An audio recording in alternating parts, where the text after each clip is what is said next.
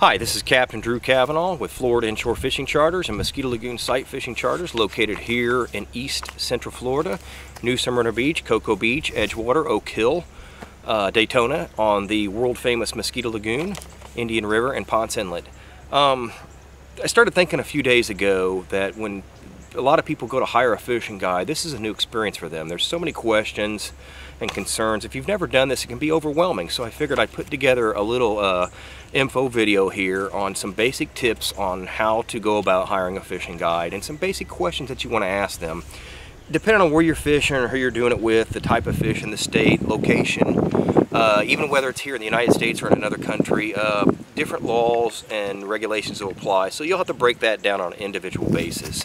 Uh, some of the things I may go over here today are going to um, be focused on the Mosquito Lagoon, the National Park, and the Wildlife Refuge, which is you know uh, governed law uh, by the laws we follow by the U.S. Fish and Wildlife and the Department of Interior, the National Park Service, along with local, state, federal, Florida law.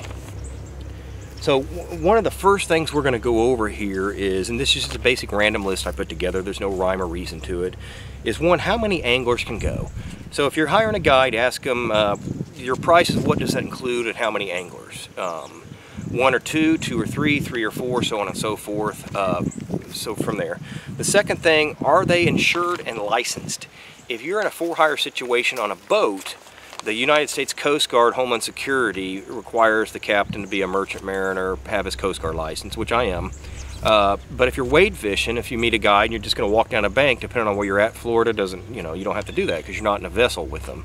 Uh, so ask them if they're licensed. Next thing, are they insured? The state of Florida does not require you to carry insurance, but if you're in business, no matter what line of business you're in, it's good to have insurance. The National Park requires us out here working inside federal waters and on their property to be licensed and insured. Regardless if I was on their property or not, I am licensed and insured uh, properly. It's business. If you go to hire a guy and he's not licensed and insured, uh, be careful with that. That's between you and them. Uh, also out here, the national park, most refuges require what's called a CUA permit, Commercial Use Authorization. That's for us.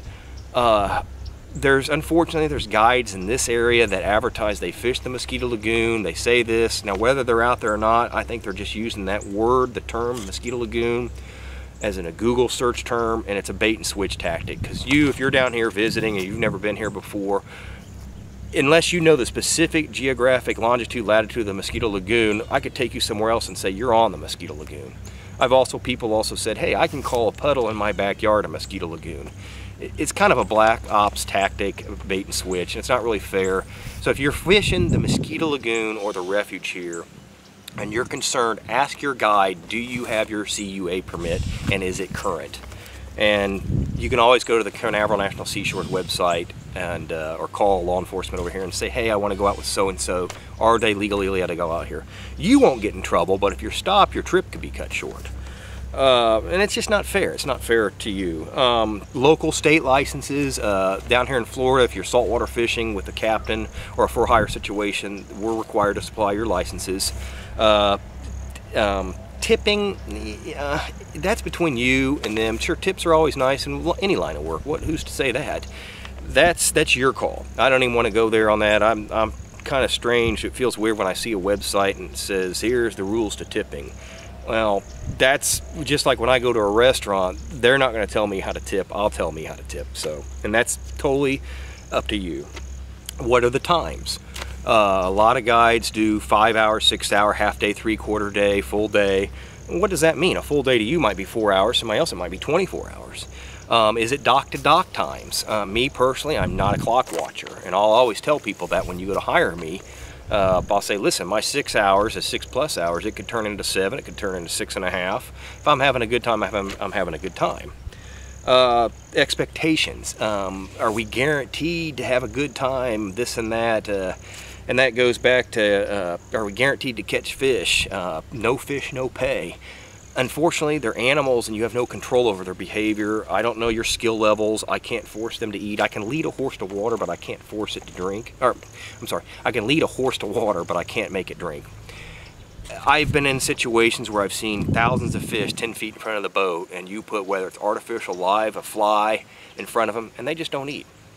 That's something, that's it's called fishing and not catching. The guides that offer the no fish, no pay policy, eh, either they'll sit up front and they'll fish for you and I've seen this happen, it's a shame. They'll, unless you want to do that, if you tell me, Captain, fish for me, then hand me the rod after you hook up, okay. I prefer not to do that or I'll see them take you somewhere and they'll catch little tiny bait fish or something. Technically, that's a fish. Now, if they say, hey, I guarantee you'll catch a, a world record fish, that's between you and them. That's, that's a brave move and a business end of it. So we're all fishing. We've all gone fishing. It's fishing. Um, it's like gambling. You're not guaranteed to win. Uh, there's always a great chance of it, especially out here, or else I wouldn't be doing this. excuse me, um, what do they supply? What does a guide supply? Does he supply all the licenses, tackle? Um, me personally, I supply bottled water, so on and so forth. What comes with the charter? Uh, and anything on that side, ask. You know, if you have certain questions, you supply lunch, dinner, food, whatever. Uh, what's your deposit policy? How much do you require? What forms of payment do you take?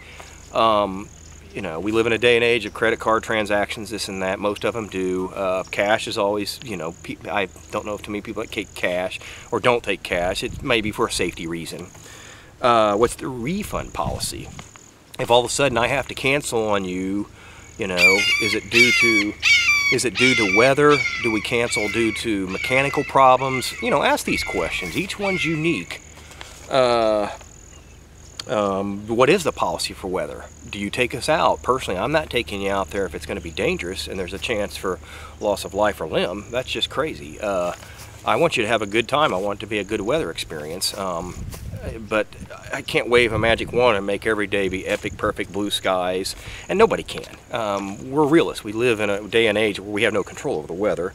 But what's your policy on weather? If we have to cancel due to rain or, or whatever, um, being a licensed captain, my first responsibility is to your safety.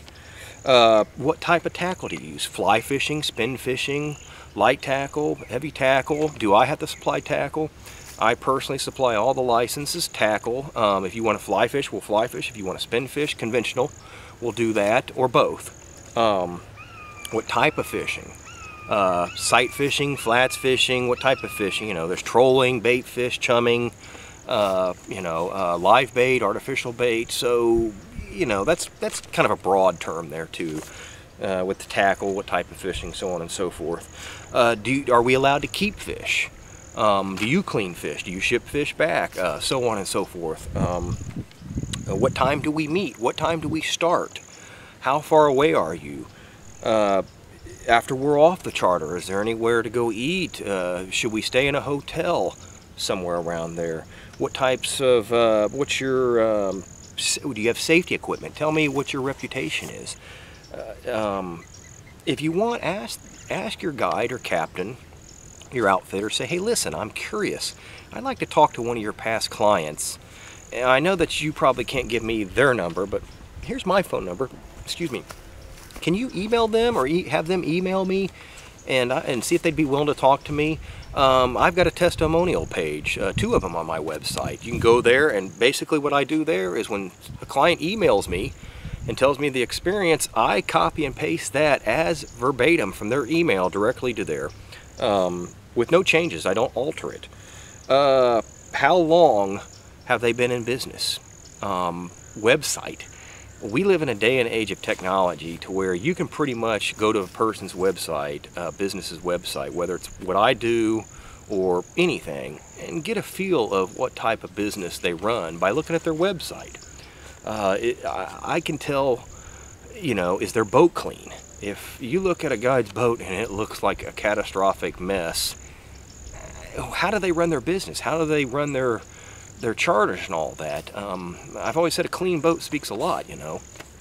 And uh, basically, that is it in a nutshell. Uh, the times out there, the dock-to-dock -dock times, uh, I see, you know, charters where they'll say, we leave this dock at 7 a.m., we're back to this dock for five hours, exactly 12. Go over that kind of stuff because, like with me, I offer a few different charters. Um, and you know, I understand that uh, it takes a wear and tear on people.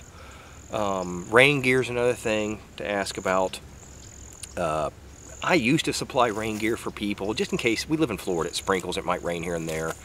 And it got to the point that, you know, I'd have to bring every size out there. Um, I'm an average built person, but what if somebody's extra small or extra big? I can't buy 10,000 pairs of rain gear. So, you know, find out what the weather's going to be. Uh, other than that, in a nutshell, that's pretty much it. Um, I think the most important thing I can tell you is should you have questions and you're hiring a guide, you're spending a lot of money, ask them whatever you feel you need to ask them. They are there for you. So do not hesitate not to ask them anything. Uh, the worst that could happen is they either can't answer or don't have an answer or just, you know, then you move on or you decide from there. Uh, they're there for you. You, you, they work for you. So until then, this is Captain Drew Cavanaugh with Florida Inshore Fishing Charters and Mosquito Lagoon Sight Fishing Charters located here in Oak Hill, Florida. And have a great day and thank you.